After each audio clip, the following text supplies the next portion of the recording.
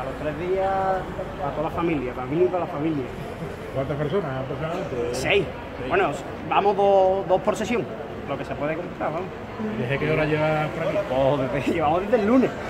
O sea, desde el lunes nos pusimos en Candelaria, cuando salieron las de cuarto, nos pusimos en Candelaria, nos hemos llevado desde el lunes en Candelaria y pensábamos que iban a salir en Candelaria y dieron el comunicado en que salieran, que salían aquí del Carranza.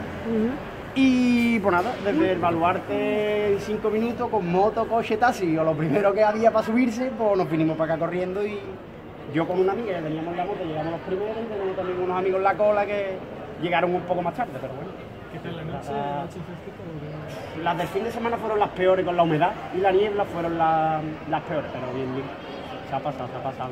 Y para pasar la noche de frío, supongo que cantáis. Cantamos, bueno, yo me he metido debajo de tres mantas y yo me he echado a dormir, pero huecha, huecha, la verdad es que con el frío yo sí pro- propon- propondría intentar otra forma de, de que la gente no esté aquí durante toda la noche, como se ha hecho por ejemplo para cuarto, para meter a lo mejor a la gente en el baluarte, entre los muritos, otra zona para la gente para el frío.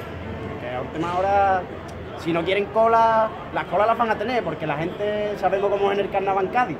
Las van a tener, quieran o no quieran. Y si no, si tardan una semana en sacar comunicado, más gente va a ver, porque cuando salió en el baluarte éramos casi 200 personas en el baluarte y que quiera que no, 200 personas corriendo para acá que te puede provocar hasta accidentes. ¿Me explico lo que te digo?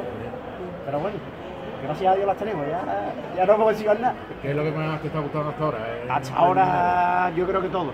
Yo creo que este año lo que sí está muy bien son los cuartetos, que hacía años que no había tanta variedad y tantos cuartetos buenos.